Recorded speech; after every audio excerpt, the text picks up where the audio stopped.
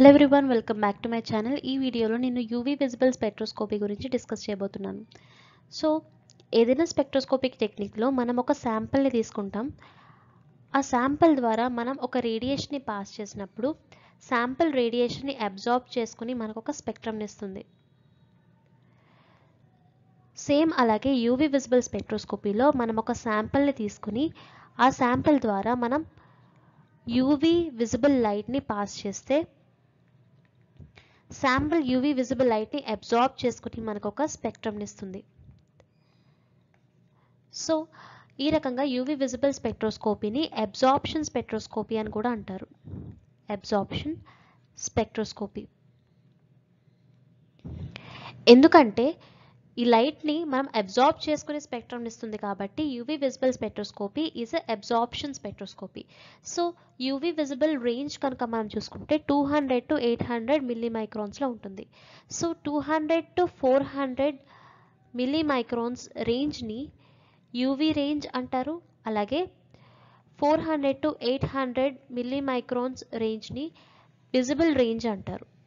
ఈ విజిబుల్ రేంజ్లో మనకి కలర్స్ కనిపిస్తాయి అనమాట మనకి ఇప్పుడు కలర్స్ ఏవైతే కనిపిస్తున్నాయో అవన్నీ విజిబుల్ రేంజ్లో కనిపిస్తాయి.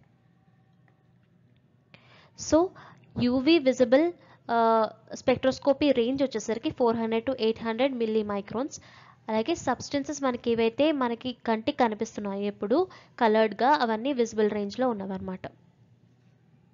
సో శాంపుల్ ద్వారా యూవీ విజిబుల్ లైట్ని పంపించిన తర్వాత ఏం జరుగుతుంది అంటే ఫర్ ఎగ్జాంపుల్ నేను శాంపిల్ ఇది అనుకున్నాను అనుకోండి. Alpha beta unsaturated carbonyl compound. ఈ శాంపిల్ ద్వారా నేను యూవీ విజిబుల్ లైట్ని పాస్ చేసిన తర్వాత ఈ కాంపౌండ్లో చూసుకుంటే మనకి సిగ్మా ఎలక్ట్రాన్స్ ఉన్నాయి. అలాగే పై బాండ్ ఉంది కాబట్టి పై ఎలక్ట్రాన్స్ ఉన్నాయి. అలాగే ఆక్సిజన్ మీద లోన్ పేర్ ఆఫ్ ఎలక్ట్రాన్స్ వల్ల నాన్ బాండింగ్ ఎలక్ట్రాన్స్ కూడా ఉన్నాయి. సో యూవీ విజిబుల్ లైట్ని పంపించిన తర్వాత ఏం జరుగుతుంది అంటే ఈ సిగ్మా ఎలక్ట్రాన్స్ పై ఎలక్ట్రాన్స్ అలాగే non bonding electrons ground state నుంచి హయ్యర్ ఎనర్జీ స్టేట్కి ఎగ్జైట్ అవుతాయి. ఓకే? యూవీ విజిబుల్ లైట్ని పంపించిన తర్వాత sigma pi non bonded electrons ఏమవుతాయి అంటే గ్రౌండ్ స్టేట్ నుంచి హైయర్ ఎనర్జీ స్టేట్కి ఎగ్జైట్ అవుతాయి. సో యూవీ విజిబుల్ స్పెక్ట్రోస్కోపీని మనం ఎలక్ట్రానిక్ స్పెక్ట్రోస్కోపీ అని కూడా అంటాం. ఎందుకంటే ఇక్కడ ఎలక్ట్రాన్స్ లోవర్ ఎనర్జీ స్టేట్ నుంచి హైయర్ ఎనర్జీ స్టేట్కి ఎగ్జైట్ అవుతున్నాయి కాబట్టి UV visible spectroscopy is also called as electronic spectroscopy ఇది మనకి దేనికి యూజ్ అవుతుంది అంటే కాంజుగేటెడ్ డబుల్ బాండ్స్ కానీ ఆరోమాటిక్ కాంజుగేషన్ కానీ మాలిక్యూల్లో ఉంది అని ఐడెంటిఫై చేయడానికి యూవి విజిబుల్ స్పెక్ట్రోస్కోపీని యూజ్ చేస్తుంటాం ఇప్పుడు మనం instrumentation of UV visible spectroscopy గురించి చూద్దాం. UV visible spectroscopy is based on Beer Lambert's law so Beer Lambert law ప్రకారం ఏంటి అంటే absorption of light depend on concentration and path length so sample యొక్క concentration and path length బట్టి absorption అనేది vary అవుతుంది ఉంటుందన్నమాట. సో యూవీ విజిబుల్ స్పెక్ట్రోస్కోపీలో light సోర్స్గా మనం డ్యూటీరియం డిశ్చార్జ్ ల్యాంప్ తీసుకుంటాం. డ్యూటీరియం ల్యాంప్ సో మనం స్లిట్స్ని యూజ్ చేసి ఓన్లీ ఒకటే బీమ్ వచ్చేలాగా చూసుకుంటాం. ఈ ఒకటే బీమ్ని నేను మిర్రర్స్ ద్వారా పాస్ చేసి టూ పార్ట్స్గా డివైడ్ చేశాను. ఒక పార్ట్ని నేను శాంపిల్ ద్వారా పాస్ చేస్తున్నాను. ఇంకొకటి రెఫరెన్స్. ఓకే శాంపిల్ అంటే ఏంటి అంటే మీకు ఇచ్చిన సాల్వెంట్ అలాగే కాంపౌండ్ కాంపౌండ్ అలాగే సాల్వెంట్ని కలిపి శాంపిల్ అంటారు. రిఫరెన్స్లో మనం ఓన్లీ సాల్వెంట్ తీసుకుంటాం. Only solvent. సో శాంపిల్లో మనకి సాల్వెంట్ మనకి ఇచ్చిన కాంపౌండ్ని సాల్వెంట్లో డిజాల్వ్ చేస్తేనే కదా మనం తీసుకునేది శాంపిల్లో. సో శాంపిల్ ఏం చేస్తామంటే ఒక సాల్వెంట్లో డిజాల్వ్ చేసి ఇక్కడ తీసుకుంటాం. సాల్వెంట్ ఏదైతే ఉందో అది రిఫరెన్స్గా తీసుకుంటాం అనమాట సో ఇక్కడ మనం సాల్వెంట్ ఎలా తీసుకుంటాము అంటే యూవీ లైట్ని అబ్జార్బ్ చేసుకోనివి. తీసుకుంటాం అనమాట అంటే దాంట్లో non bonding electrons pi electrons లేనివి మనం జనరల్గా సాల్వెంట్గా తీసుకుంటూ ఉంటాం. సో ఈ రకంగా టూ పార్ట్స్గా డివైడ్ అయిన తర్వాత ఫస్ట్ పార్ట్ని నేను శాంపుల్ ద్వారా పాస్ చేస్తాను. ఈ శాంపుల్లో ఈ కాంపౌండ్ మనం ఏదైతే తీసుకున్నామో దాంట్లో నాన్ బాండింగ్ పై అలాగే సిగ్మా ఎలక్ట్రాన్స్ ఉంటాయి కదా ఇవి ఏం చేస్తాయి అంటే ఎలక్ ఈ ఈ ఎలక్ట్రాన్స్ యూవీ విజిబుల్ లైట్ని అబ్జార్బ్ చేసుకుంటాయి. అబ్జార్బ్ చేసుకొని కొంత లైట్ని కొంత లైట్ని ఎమిట్ చేస్తాయి.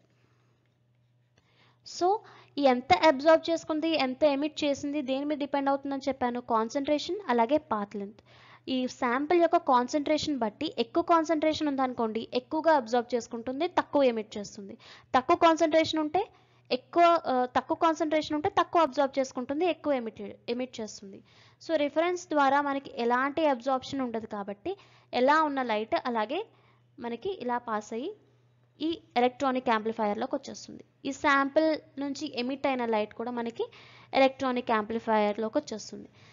ఈ టూ లైట్స్ ఏదైతే ఉన్నాయో కలిపి మనకు ఒక స్పెక్ట్రమ్ని ఇస్తుంది అనమాట ఓకే ఈ స్పెక్ట్రమ్ని బట్టి ఎంత లైట్ అబ్జార్బ్ చేసుకుంటో తెలుస్తుంది. ఎంత లైట్ ఎమిట్ చేసిందో కూడా తెలుస్తుంది. ఈ రకంగా ఈ స్పెక్ట్రమ్ని బట్టి ఆ కాంపౌండ్ ఏంటి అని ఐడెంటిఫై చేస్తూ ఉంటాం. సో ఈ విధంగా మనకి నాన్ బాండింగ్ సిగ్మా పై ఎలక్ట్రాన్స్ని అబ్జార్బ్ చేయడం వల్ల మనకి అబ్జార్ప్షన్ బ్యాండ్స్ అనేవి వస్తాయి అన్నమాట అవి ఎలాగా అంటే ఇది e e E one and E two E one and E two ఏంటి అంటే electronic energy levels electronic energy levels మనకి కాంపౌండ్లో ఉన్న పై ఎలక్ట్రాన్స్ కానీ సిగ్మా ఎలక్ట్రాన్స్ కానీ నాన్ బాండింగ్ ఎలక్ట్రాన్స్ కానీ ప్రతి వాటికి ఇలా ఎలక్ట్రానిక్ ఎనర్జీ లెవెల్స్ ఉంటాయన్నమాట.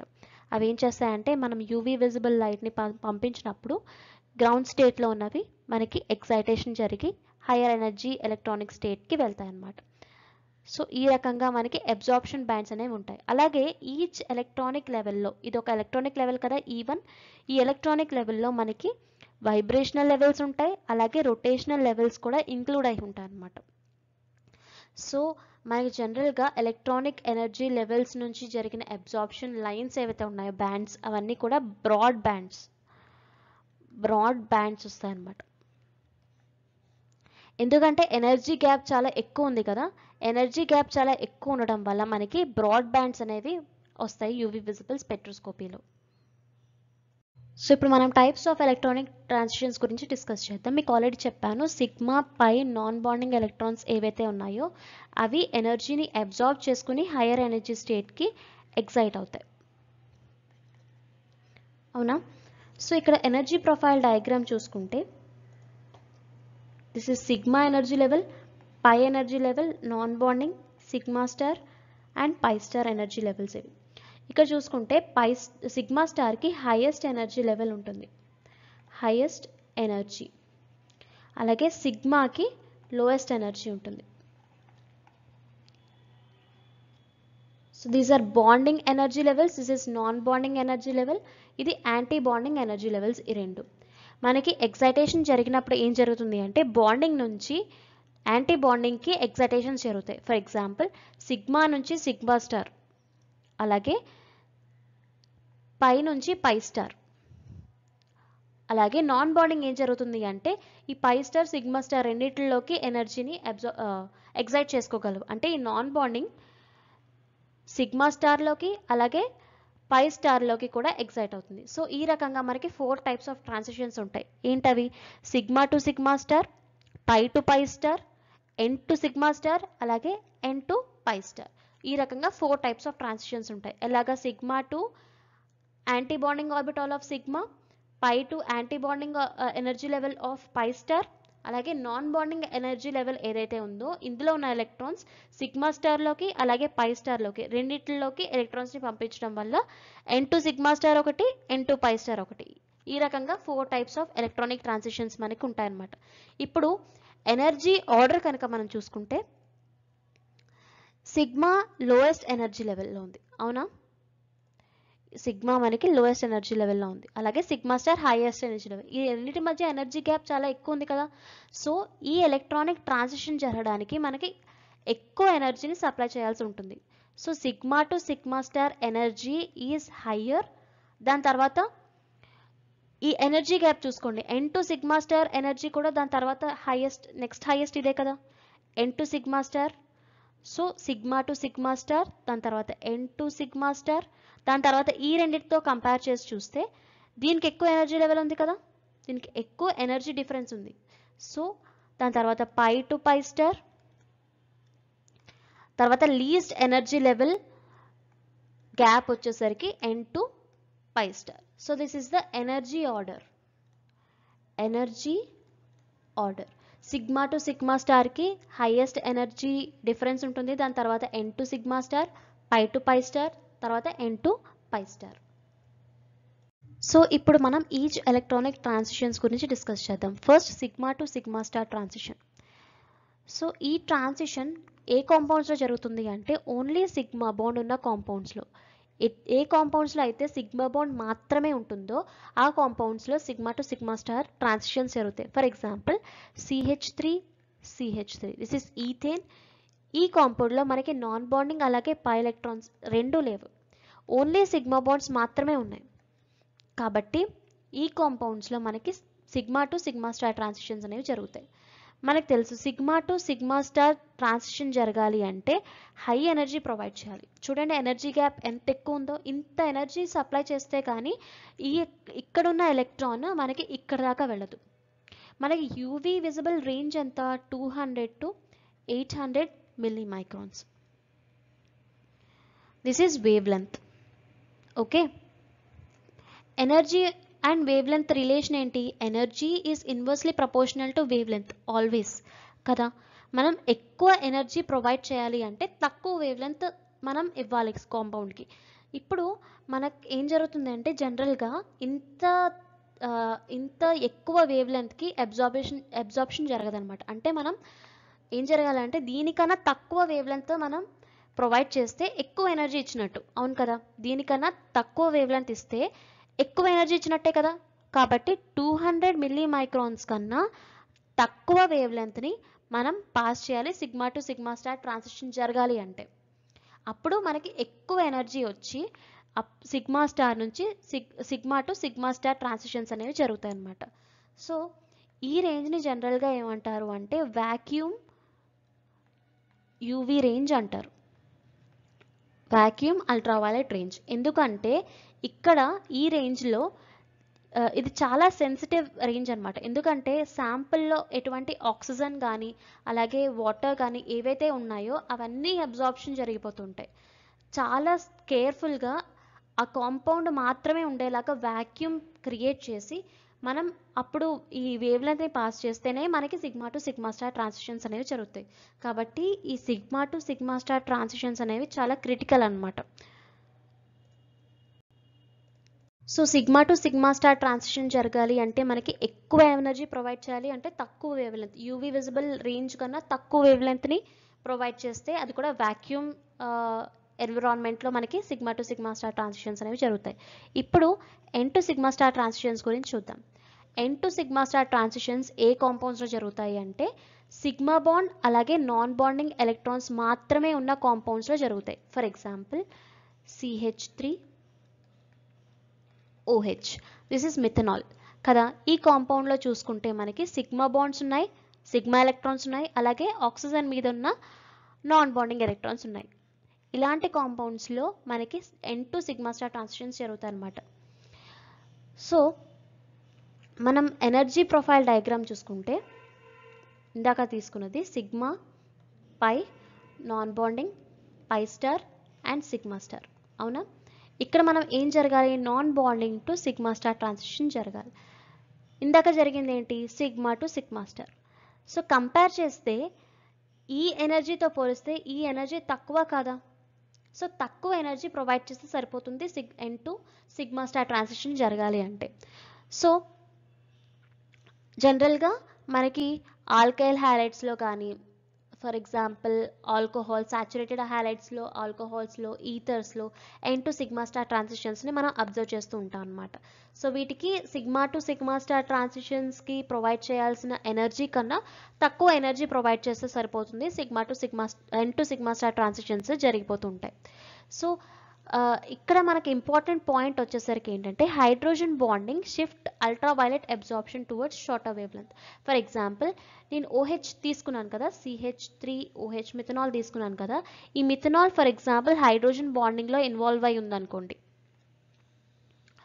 ఇలా హైడ్రోజన్ బాండింగ్లో ఇన్వాల్వ్ అయి ఉంటే మనకి ఎక్కువ ఎనర్జీని అబ్జార్బ్ చేసుకుంటాయి. ఎనర్జీ ఎక్కువ ఎనర్జీని అబ్జార్బ్ చేసుకుంటే ఏమవుతుంది? Energy and wavelength inversely proportional కదా. అప్పుడు తక్కువ వేవ్ లెంత్ వైపు షిఫ్ట్ అవుతుంది మనకి absorption okay? So hydrogen bonding ఉండడం వల్ల ఎక్కువ ఎనర్జీ అబ్జార్బ్ చేసుకుంటుంది. వేవ్ లెంత్ అనేది షార్ట్ వేవ్ లెంత్ వైపు షిఫ్ట్ అవుతుంది.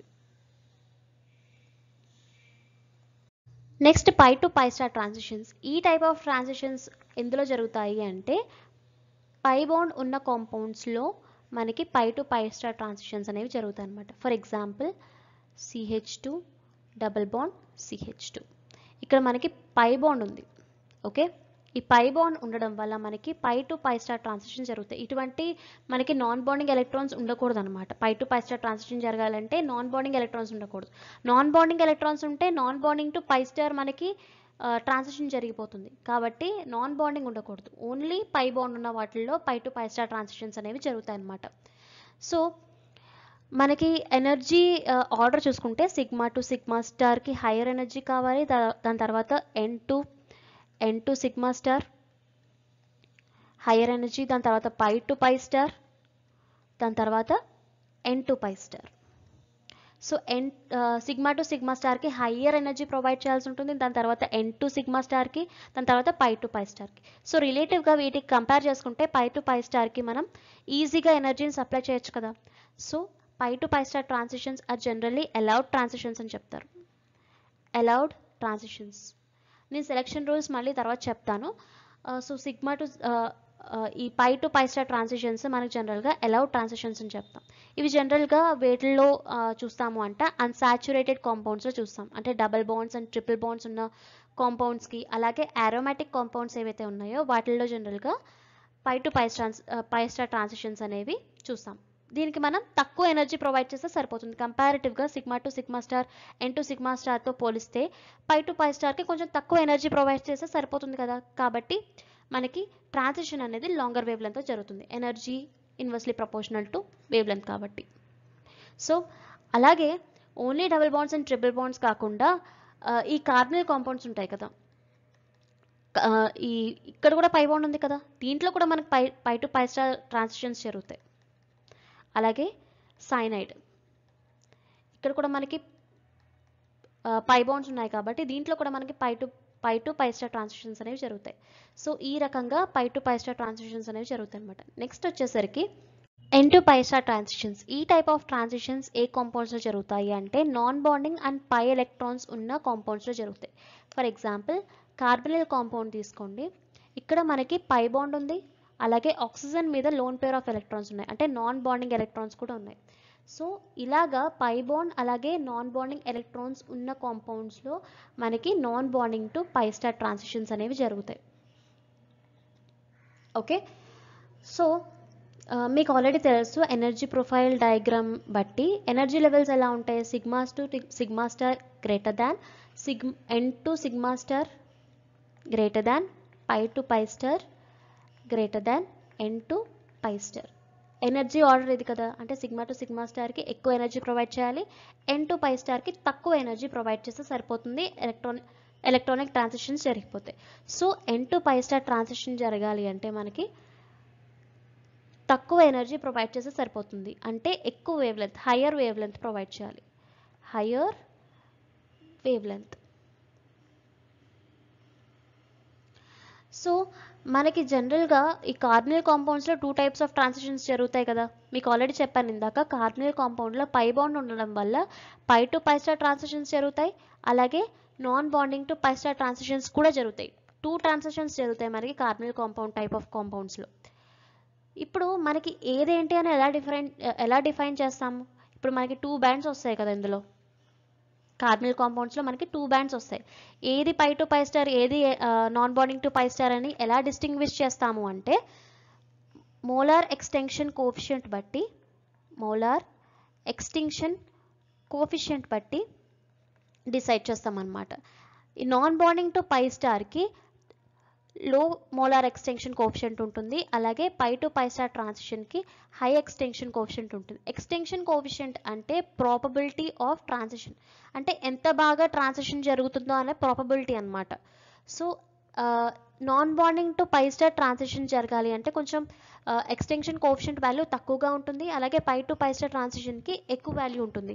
సో మోలార్ ఎక్స్టెన్షన్ కోఫిషియంట్ అంటే ఎప్స్లాన్ మ్యాక్స్ ఈ వాల్యూ బట్టి ఏది non bonding to pi star ఏది pi to pi star transitions అనేది ఐడెంటిఫై చేస్తామన్నమాట. ఇప్పుడు ఈ ఎలక్ట్రానిక్ ట్రాన్సిషన్స్ యొక్క ఇంటెన్సిటీ కనుక మనం చూసుకుంటే మనం ఫర్ ఫర్ ఎగ్జాంపుల్ కంపేర్ చేద్దాం.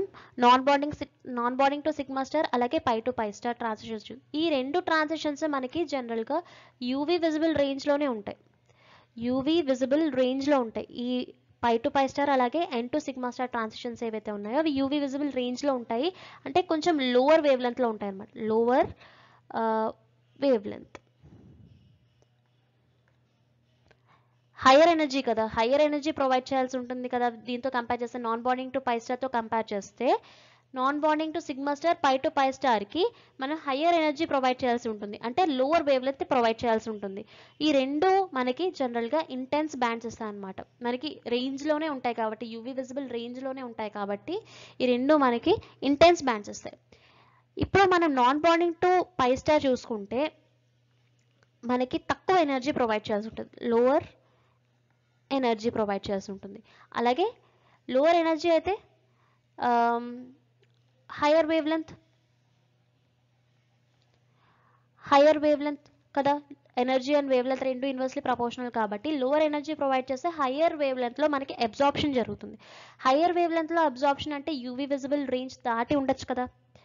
మనకి two hundred to eight hundred milli microns దాటి ఉంటుంది non bonding to pi star transition so ఈ టైప్ ఆఫ్ ట్రాన్సిషన్స్ మనకు జనరల్గా వీక్ ట్రాన్సిషన్స్ అనమాట వీక్ ట్రాన్సిషన్స్ ఎందుకంటే ఇది ఇవి అంత తొందరగా మనకి అబ్జార్ప్షన్ చూపించమన్నమాట మనకి స్పెక్ట్రంలో so non bonding to pi star transitions are generally weak transitions next selection rules of electronic transitions చూద్దాం. మనకి ఎలక్ట్రానిక్ ట్రాన్సిషన్స్ జరుగుతాయి కదా సిగ్మా టు సిగ్మా స్టార్ ఇవన్నీ.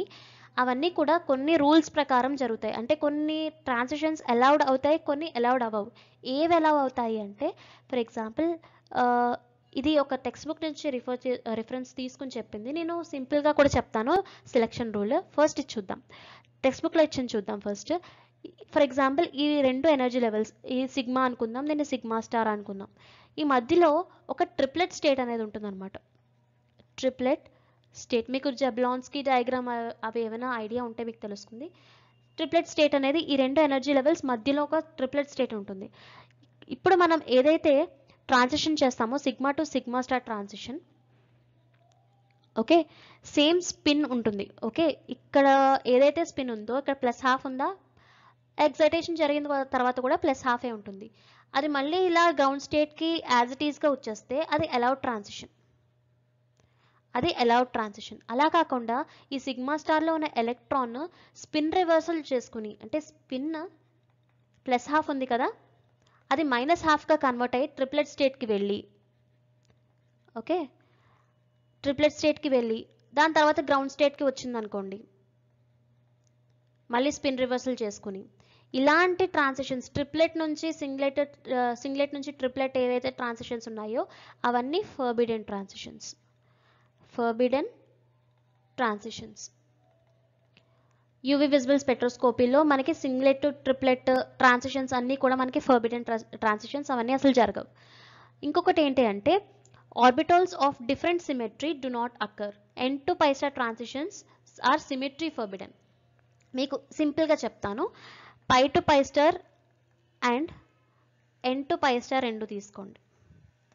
Pi to pi star and n to pi star. మీకు already చెప్పాను molar extension coefficient values ఎలా ఉంటాయనో చెప్పాను. Molar extension coefficient value n to pi star ఎలా ఉంటుంది? తక్కువగా ఉంటుంది. అలాగే pi to pi star molar extension coefficient ఎక్కువగా ఉంటుంది. ఇది greater than ten to the power of four ఇది less than ten to the power of four ఉంటుంది అన్నమాట epsilon max value so epsilon max వాల్యూని బట్టి కూడా మనం సెలెక్షన్ రూల్స్ చెప్తాం అనమాట ఏవైతే ఈ ఎప్సిలాన్ మ్యాక్స్ నీకు ఆల్రెడీ చెప్పాను ఎప్సిలాన్ మ్యాక్స్ దేనికి డిటర్మైన్ చేస్తుంది? ట్రాన్సిషన్ ప్రాపబిలిటీ ట్రాన్సిషన్ ప్రాపబిలిటీ అంటే ట్రాన్సిషన్ జరగడానికి జరిగిన పాసిబిలిటీ అనమాట ఇప్పుడు ఎక్కువ ఎక్కువ వాల్యూ ఉందనుకో ఎప్సిలాన్ మ్యాక్స్ వాల్యూ ఎక్కువగా ఉందనుకోండి ట్రాన్సిషన్ అయ్యే ఛాన్స్ ఎక్కువగా ఉంటుందని అర్థం. అప్పుడు pi to pi star transition అన్నీ కూడా అలౌడ్ ట్రాన్సిషన్స్ అవుతాయి. Pi to pi star transitions value అన్నీ కూడా అలౌడ్ ట్రాన్సిషన్స్ అవుతాయి.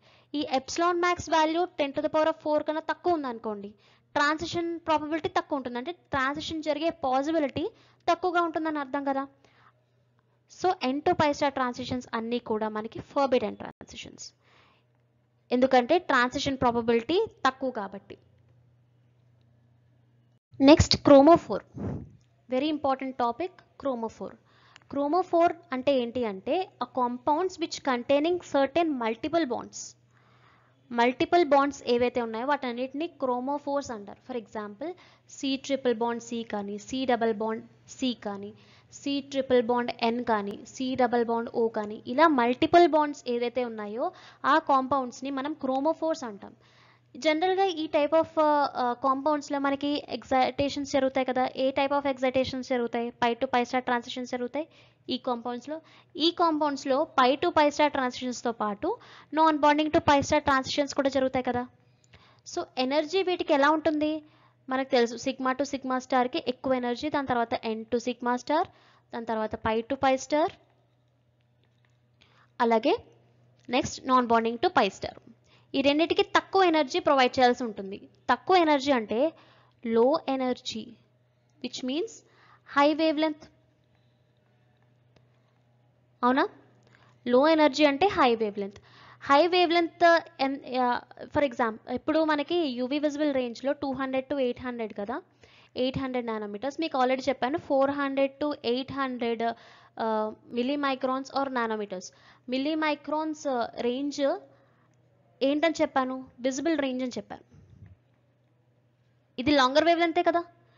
లాంగర్ వేవ్ లెంతే కదా? Four hundred to eight hundred milli microns అంటే లాంగర్ వేవ్ లెంత్ అంటే హయ్యర్ వేవ్ లెంత్ సో ఈ పై టు పై స్టార్ అలాగే n to pi star transitions ఏవైతే ఉన్నాయో అవి హయ్యర్ వేవ్ లెంత్ జరుగుతాయి. హయ్యర్ వేవ్ లెంత్ అంటే ఏ రేంజ్ ఏ రేంజ్ అది? విజిబుల్ రేంజ్ మీకు ఆల్రెడీ చెప్పాను విజిబుల్ రేంజ్లో మనకి కలర్స్ అనేవి కనిపిస్తాయి. అవునా? మనకి కలర్స్ ఏవైతే కనిపిస్తున్నాయో ఇప్పుడు మనకి అవి విజిబుల్ రేంజ్ అబ్జర్వ్ చేయడం వల్ల మనకి కనిపిస్తాయి. సో ఈ pi to pi star n to pi star transitions higher energy lower energy అలాగే హయ్యర్ వేవ్ లెంత్ కాబట్టి విజిబుల్ రేంజ్లో అబ్జర్వ్ అవుతాయి. విజిబుల్ రేంజ్లో అబ్జర్వ్ అవడం వల్ల ఏమవుతుంది? కలర్స్ని ఎగ్జిబిట్ చేస్తాయి కదా. So chromophores are nothing but multiple bonded compounds multiple bond bonded compounds which exhibit colour chromo అంటే కలర్ ఫోర్ అంటే బేరింగ్ కలర్ ఎగ్జిబిటింగ్ కాంపౌండ్స్ని క్రోమోఫోర్స్ అంటారనమాట సో జనరల్గా నైట్రో కాంపౌండ్స్ ఏవైతే ఉన్నాయో ఎవి అవి ఎల్లో కలర్లో ఉంటాయి. నైట్రో కాంపౌండ్ అంటే ఏంటి? NO two. అవునా? N double bond O O minus. ఇలాగే కదా రాస్తారు నైట్రో కాంపౌండ్ని. ఇక్కడ కూడా మనకి పై బాండ్స్ ఉన్నాయి అలాగే నాన్ బాండింగ్ ఎలక్ట్రాన్స్ కూడా ఉన్నాయి కదా. So pi to pi star అలాగే non bonding to pi star transitions జరుగుతాయి కదా ఈజీగా. సో ఇలా non bonding to pi star అలాగే pi to pi star transitions జరగడం వల్ల దీనికి కలర్ ఎగ్జిబిట్ అయ్యి ఎల్లో కలర్లో కనిపిస్తుంది. విజిబుల్ రేంజ్ని అబ్జర్వ్ చేసుకోవడం వల్ల. అలాగే డిఫరెంట్ టైప్స్ ఆఫ్ ఎగ్జాంపుల్స్ ఉంటాయి. ఇక్కడ చూసుకోండి టూ టైప్స్ ఆఫ్ క్రోమోఫోర్స్ ఒకటేమో పై ఓన్లీ పై బౌండ్స్ ఉన్న కాంపౌండ్స్లో మనకి pi to pi star transitions జరిగిన వి కూడా క్రోమోఫోర్స్లో యాక్ట్ చేస్తాయి. అలాగే పై ఎలక్ట్రాన్స్తో పాటు నాన్ బాండింగ్ ఎలక్ట్రాన్స్ ఏవైతే ఉన్నాయో అవి కూడా మనకి టూ టైప్స్ ఆఫ్ ట్రాన్సిషన్స్ని ఎగ్జిబిట్ చేసి ఆ two type types of transitions మనకి విజిబుల్ రేంజ్లోనే ఉన్నాయి కాబట్టి అవి కూడా మనకి కలర్స్గా కనిపిస్తాయి. So this is about chromophores next auxochrome this is very important and interesting మీకు ఆల్రెడీ చెప్పాను క్రోమోఫోర్ అంటే ఏంటి? కలర్ ఎగ్జిబిటింగ్ అవునా?